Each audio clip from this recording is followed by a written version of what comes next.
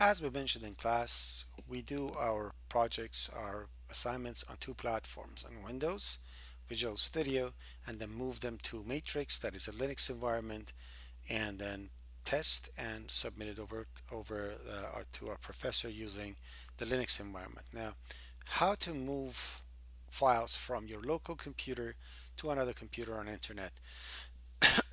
the Linux computer is Matrix. For that, you need an FTP client. An FTP client uh, uses file transfer protocol to move files from one location to another.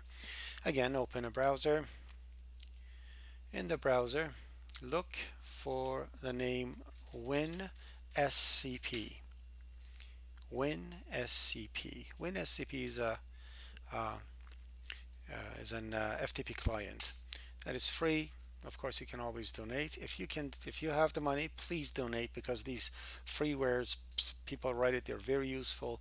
And uh, uh, by donating, you're helping them to make this uh, even better. Anyways, so let's do the the installation.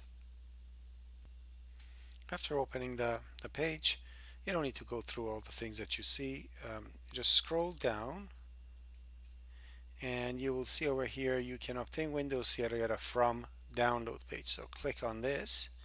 That takes you to download page. These two are advertisement. Do not click on them. That's not when when SCP. You don't want to download that. Scroll down and over here you're going to see this green button says download WinSCP. Click on that one.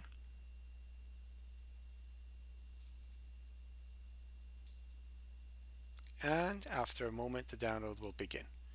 As soon as the download is complete, click on it. Click yes, you want it to, to install. Just click accept and keep going. And install. After installation, you're going to have WinCSP installed, uh, SCP installed on your computer.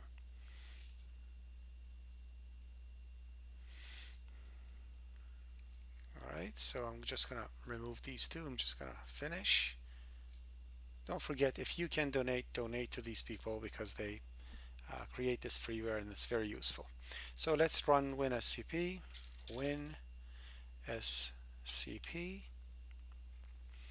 And when you open it it asks you for a for a host. The host that you are going to uh, upload stuff into is matrix. So type over here matrix Seneca College.ca.